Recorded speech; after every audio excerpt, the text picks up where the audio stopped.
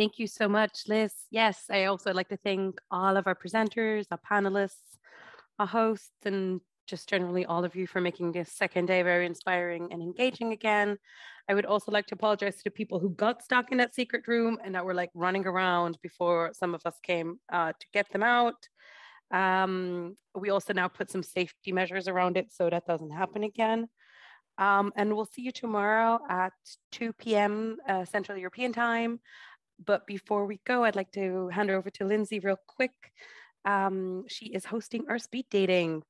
So um, I'll see you all in Gathertown. Thank you, Lindsay. Yeah. Hi, everyone. My name is Lindsay. I'm going to be emceeing the speed dating event that will be happening at 12 p.m. Eastern Central Time. Um, it's called speed dating. Please don't feel pressure to find your soulmate during this time. It's just networking, really casual questions, no pressure. And I hope to see you there. Thanks. Yeah, it starts in in 20 minutes, right? It's at six. About 20. Yep. About 20 minutes. Cool. See you all there.